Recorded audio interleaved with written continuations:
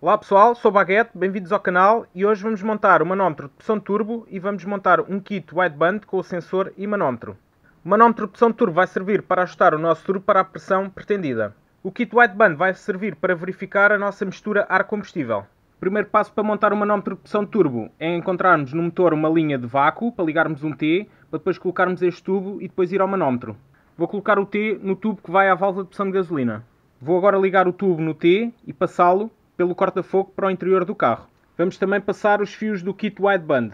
Agora que temos os nossos fios e tubos dentro do carro, vamos começar a fazer as ligações. Vamos começar pela alimentação no canhão de ignição. Depois de verificarmos qual é que é o fio correto no canhão de ignição, soldamos lá um fio e vai servir para alimentar os nossos manómetros e o kit wideband. Agora que já terminámos as ligações elétricas, vamos verificar se tudo trabalha bem.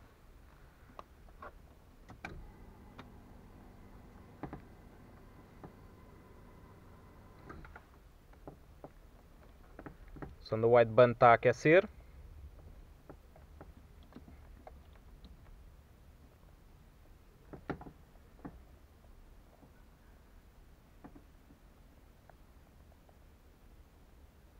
Ok, já aqueceu.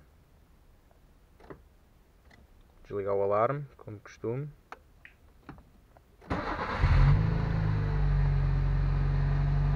Ainda não tenho a sonda ligada no escape, por isso é que está a dar este valor, mas o manómetro de pressão turbo está a funcionar, está em vácuo neste momento.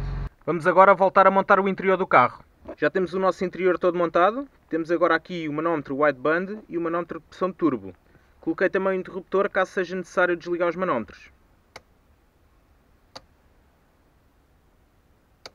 Agora que já temos tudo preparado, podemos começar a montar o kit turbo. No próximo episódio vamos montar os coletores, o turbo, o downpipe e a tubagem de admissão. Como eu já tinha referido, eu não vou usar intercooler por agora, mais tarde podemos sempre fazer esse upgrade.